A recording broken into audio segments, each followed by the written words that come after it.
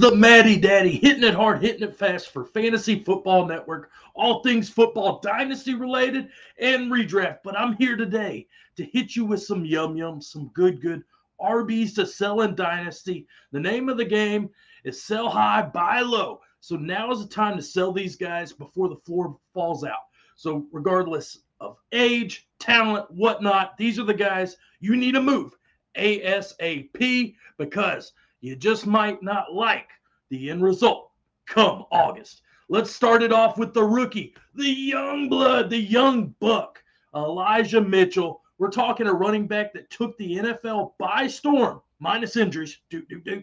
We're talking RB 26 in 11 games. Matty, why are we selling this guy? This guy was cooking with Crisco.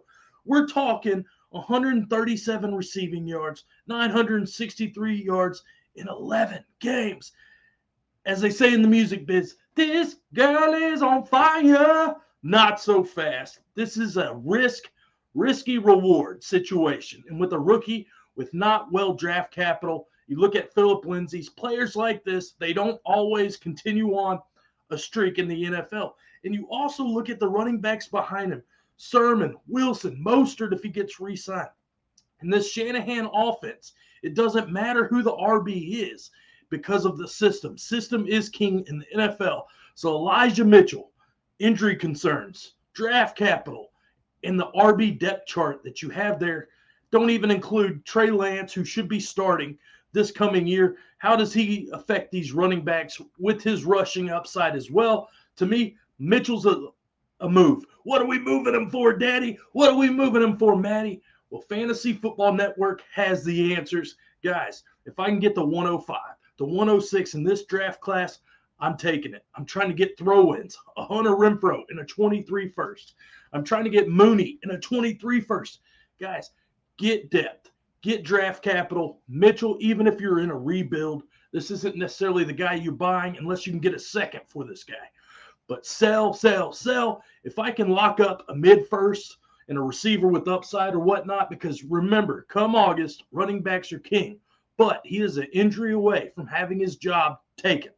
Elijah Mitchell, Dynasty, redraft, he's a sell, baby.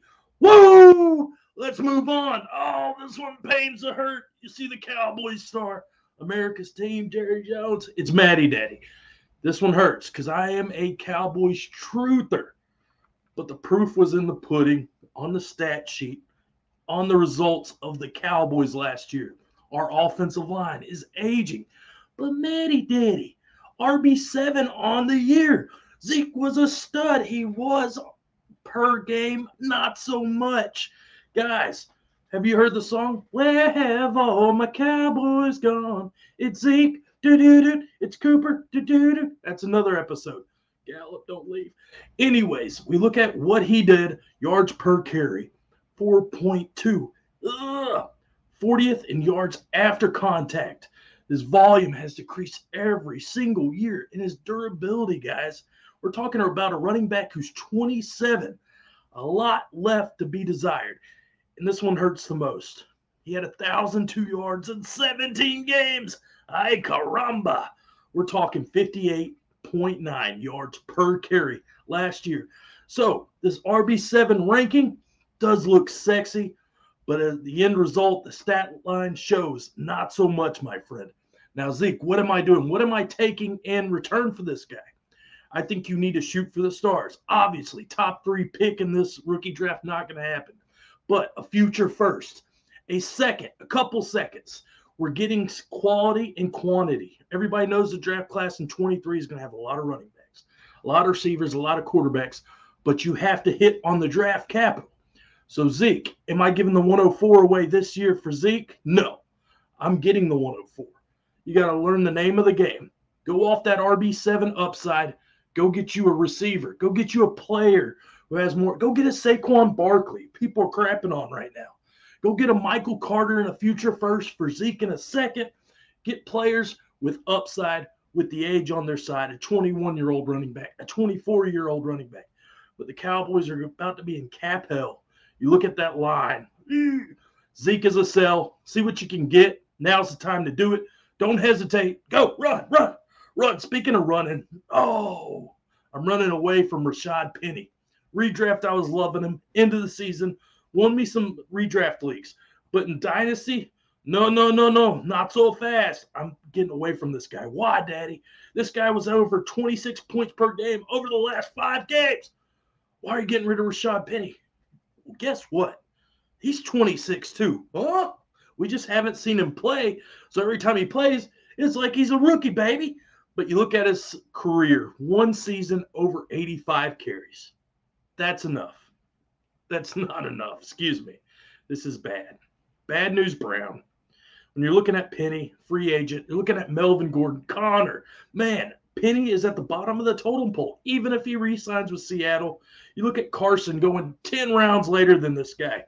Penny is a sell at all costs because he is never going to offer you the volume, the durability you want in Dynasty. To this, no matter what time of year it is, it's always a time to sell Penny and make a dollar. So, Penny, what can you get for him? Obviously, nobody's willing to trade a first. But why do I keep mentioning Dynasty and draft capital?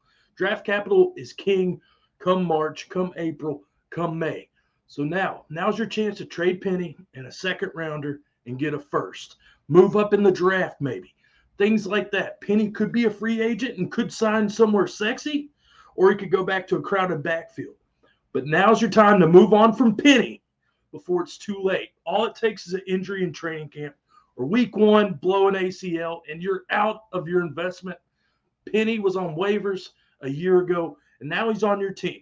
So make sure you're selling Penny now. Now, do it. Dynasty Fantasy Football. If you like what you saw, Check out Fantasy Football Network on YouTube, Instagram, Twitter, Facebook, all over the place, kicking butt with different shows. Seven o'clock, Jay the Plug, you name it. Fantasy Football Ball Guy, everybody and anybody, Kyle and Corey. Oh, I could keep going on. There's so much content on the Fantasy Football Network. Check it out. You won't be disappointed. I'm the Matty Daddy. As always, let's get on out. Woo! I'm just kidding. Next time, though, we're doing buys. Running backs buys to target. And as always, it's been a pleasure. My treasure. Let me do it again. Two claps for the Ric Flair. Woo!